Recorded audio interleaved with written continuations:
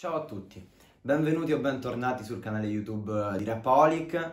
Torno qui su YouTube a parlare con voi, a parlare di musica dopo due mesi di, di inattività da questa piattaforma perché ad agosto abbiamo deciso di comune accordo con i ragazzi della redazione di far prendere a Rapaholic un mese di vacanza dopo tre anni di attività costante.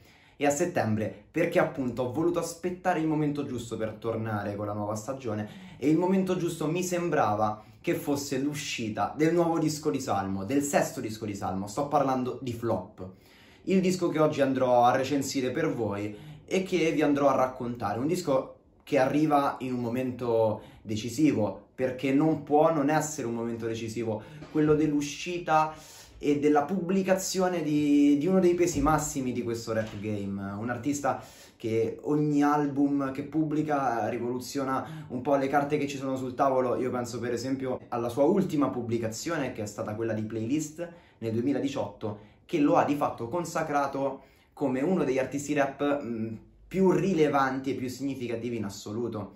Eh, Playlist arrivava per rivoluzionare, è un disco che già con il suo concept e appunto con il suo titolo eh, lasciava mh, intravedere una certa portata rivoluzionaria, una certa provocazione, eh, era un titolo quasi futurista, eh, quasi come i tagli di Fontana, era un progetto che voleva criticare la tendenza della musica ad aver reso l'album di fatto una compilation di brani sconnessi senza un cuore, senza un'anima, senza un collegamento, senza un fil rouge. Playlist allora la, la enfatizzava e Salmo mh, proponeva questo approccio alla musica dicendo ok i miei colleghi e in generale gli artisti fanno dei dischi sconnessi, fanno delle compilation e allora io faccio proprio apposta una playlist, faccio un disco che si chiama playlist in cui possiamo trovare il banger esplosivo eh, basato su un basso fortissimo e devastante che è 90 minuti ma anche il pezzo eh, d'amore assolutamente pop, assolutamente vincente, anche molto raffinato, che era Il cielo nella stanza. Eh, il brano finale con questa chiusura notturna del disco che era lunedì, il brano un po' tendente anche all'atmosfera messicana, alla narcos che era sparare alla luna. C'era tanta sperimentazione eh, per un artista che ha sempre sperimentato, per un artista che è arrivato in Italia con la drum and bass, portandosi dietro un bagaglio culturale che veniva dal metal e, e che con il disco precedente a playlist invece aveva portato un disco vero, un disco con un sangue, con un'anima che era stato Elvis Beck, con le sue chitarre infuocate e, e con i suoi versi incendiari. Dunque, Elvis Beck 2016, playlist 2018, abbiamo dovuto aspettare altri tre anni per il nuovo disco di Salmo, Flop, un altro titolone, un altro titolo ancora una volta futurista che vuole la- raccontare un concept, perché noi arriviamo dopo tre anni dalla pubblicazione di playlist, un successo straordinario, un progetto che è stato sì sperimentale ma anche mainstream, e poi tra playlist e flop passano tre anni che non sono stati vuoti, sono stati tre anni di hit. Eh, pensiamo per esempio a Swingo, il featuring di Salmo con Da Supreme, a Boogeyman, il featuring uh, di Salmo con Gali, ma ultima ma non ultima per importanza è la canzone nostra con Blanco, un pezzo che lancia Blanco nel mondo dei grandi, anzi dei grandissimi, perché poi Blanco fa uscire un progetto che porta 9 tracce su 10 in, eh, in top 10 Fimi e, e, si piazza al primo posto per tre settimane consecutive. E, e sì, è vero, il peso specifico della strofa di Salmo nella canzone nostra è relativamente basso, però è ancora una volta Salmo che scopre un talento e lo lancia. Era già successo con Da Supreme, penso a Perdonami, era già successo con Lazza, penso a Mob. Anni fa è successo anche con Nitro. Quindi un'altra vittoria per Salmo, un'altra hit eh, con l'etichetta con scritto Salmo. E dunque arriviamo a flop eh, carichi di aspettative. E chi è che ce le vuole far abbassare? Proprio l'artista, proprio Salmo, perché chiama il disco flop. E lo annuncia con una comunicazione molto, molto provocatoria ancora una volta è da un po' che Salmo gioca molto sul comedy, eh, sul voler ironizzare, e allora dice che questo flop sarà il suo peggior disco.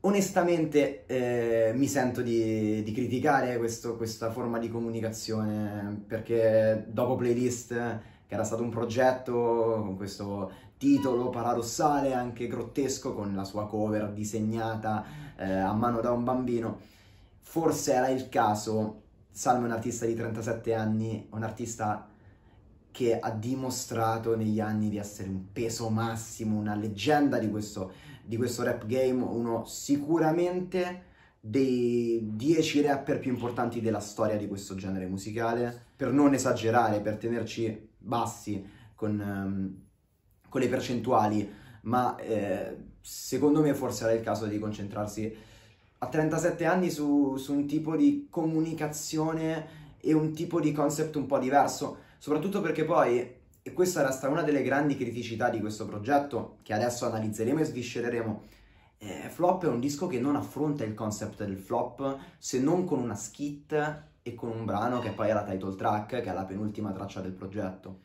Dunque, mm, entrerei nel vivo. Eh, che tipo di disco è Flop? È un grande disco. Salmo non sbaglia mai. Salmo è un grande artista e fa solo grandi dischi. Musicalmente stiamo parlando di, di un prodigio, eh, di, di, un fenomeno, dell'artista vocalmente migliore del rap italiano. Un artista che canta così bene nel rap italiano non esiste. Tutti gli altri artisti per arrivare a determinate melodie devono utilizzare necessariamente l'autotune. Salmo non fa parte di questa categoria. Salmo canta e arriva a, a, portare delle melodie che non si sono mai sentite. Salmo è sperimentale, questo è un disco molto sperimentale, anche se rispetto ai precedenti lo è un pochino di meno. Eh, penso ad Elvis Beck che aveva rivoluzionato tutto, penso a Dead USB, eh, aver portato la dubstep eh, in Italia, penso a Playlist che aveva basato eh, tutto sulla sperimentazione, aveva puntato tantissimo sulla sperimentazione. Questo però è un disco che comunque eh, si apre con un brano che è antipatico, tutto reppato, tutto di barre, eh, c'è addirittura la citazione ironica a Bassi Maestro, c'è una citazione invece meno ironica e più, più solenne invece a Neffa.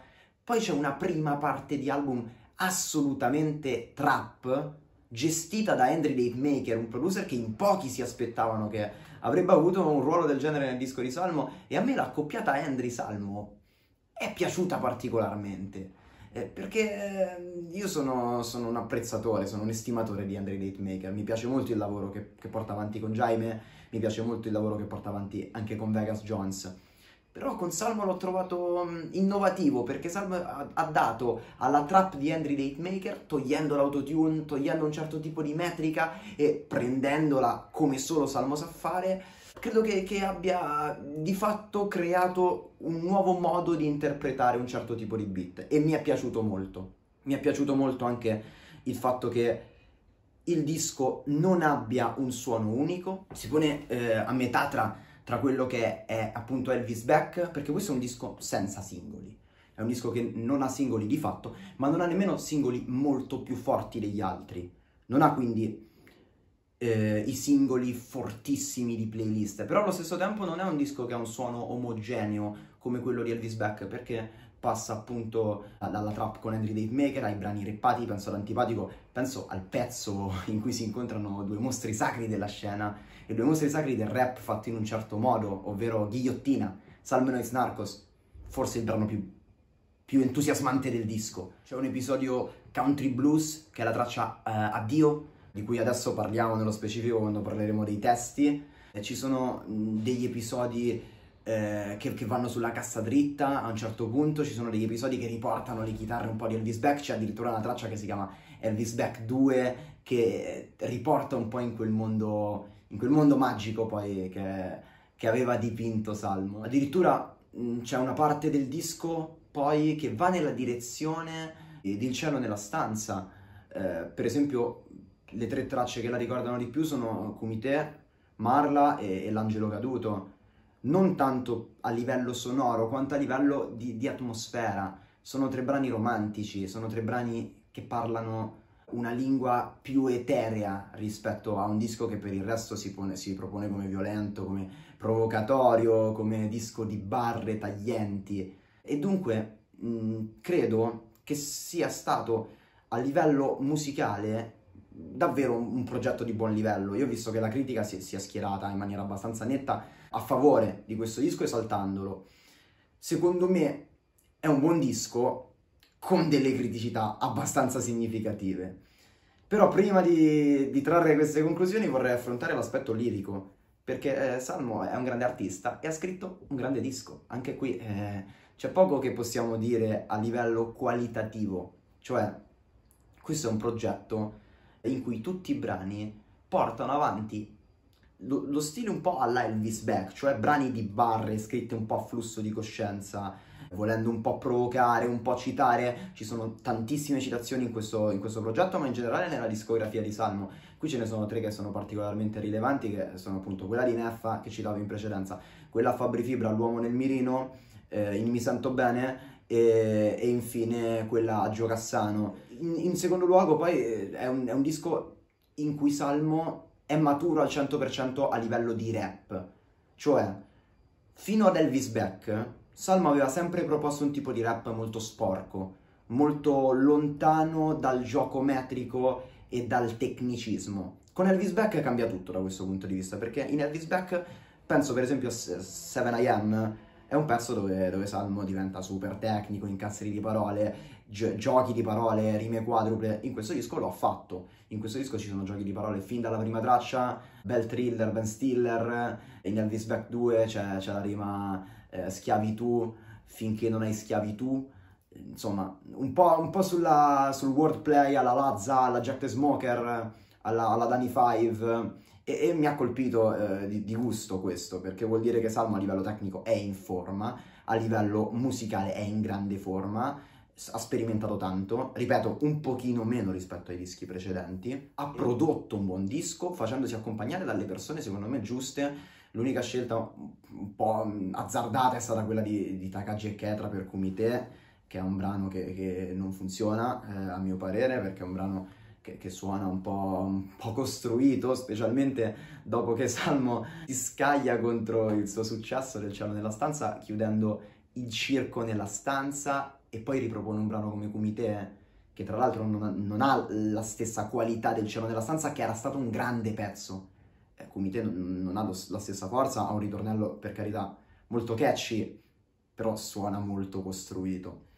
Invece eh, brani come, come L'Angelo Caduto e come Marla dimostrano l'abilità di scrittura di, di Salmo, che appunto in Marla per esempio ruba un fotogramma io Marla la inserisco nella collana di canzoni di, di Salmo dedicati alle donne come ritrattista.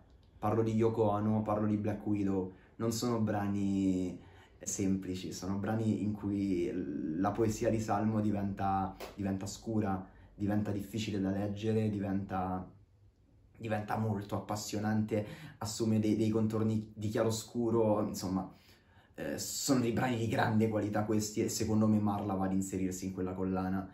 E L'Angelo Caduto è un brano molto emozionante che tra l'altro mi permette di, di, approfondire il tema dei featuring. Benissimo Noiz Narcos, straordinario Noiz Narcos, veramente una performance e un duetto con Salmo eh, veramente di grande qualità che mi ha ricordato molto Stai Zitto, che era il brano di, di, di playlist di Salmo e Fibra, però credo che in, se in Stai Zitto potevamo discutere veramente mesi e mesi su chi avesse reppato meglio e chi fosse stato più, più entusiasmante nel brano tra Salmo e Fibra, credo che qui eh, in ghigliottina ci sia veramente poco da confrontare. Noi Snarcos è stato, è stato eccezionale e secondo me superiore a Salmo.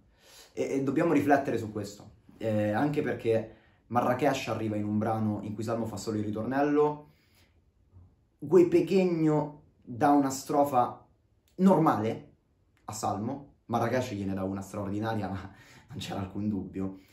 E, e, ci sono delle scelte di Salmo in questo disco, per esempio accettare una strofa alla Gue Pechegno di Gue Pechegno, niente di straordinario, accettare il fatto che Nois Narcos sia superiore a Salmo in un pezzo, le ho trovate scelte non alla Salmo. Eh, e questa è la mia grande criticità nei confronti di questo progetto. Cioè, questo è un grande progetto, secondo me. Un progetto sicuramente almeno da sette e mezzo.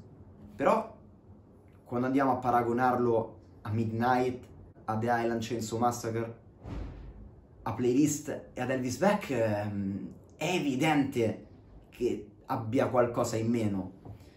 Flop è un, è un buon progetto, però non ha il concept che aveva Midnight, che aveva Islands and Chainsaw Massacre, che aveva anche Death USB a modo suo. Cioè, il tema del flop viene analizzato in due brani e uno è una skit, una splendida skit dell'attore Josephat Vagni, però ehm, tutto il resto del disco si muove su binari abbastanza sconnessi l'uno dall'altro. È un po' un disco playlist, è proprio quello che Salmo criticava un paio di anni fa, no? E tra l'altro mi sento di portare avanti anche un'altra critica. Eh, Salmo ha 37 anni, alcune liriche blasfeme, è un po' difficile ascoltarle da un artista con la sua maturità.